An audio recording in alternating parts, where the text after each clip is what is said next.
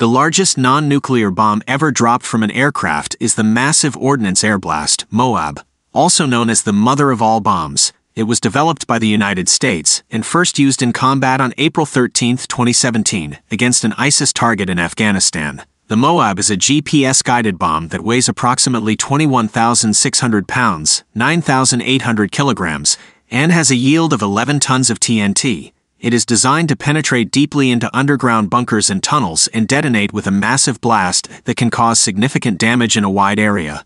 The Moab was dropped from a MSC 130 Combat Talon, which was equipped with sophisticated navigation and targeting equipment, which allowed the Moab to be delivered with a high degree of accuracy.